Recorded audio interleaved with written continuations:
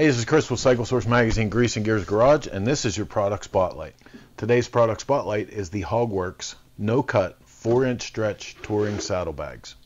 This kit's pretty nice. You want to take your your stock touring motorcycle and enter into the the badass bagger phase. These things are pretty much just bolt on. Accepts all the stock hardware, st- stock mounting location.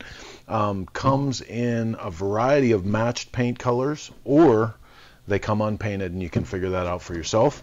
The uh, saddlebag bottoms have been blocked to allow for your custom exhaust applications or for your stock side mount. Built with injection molded high grade ABS. Now the fitment's guaranteed on your 2014 to 2018 model motorcycles. Whole kit comes in at just 844.53.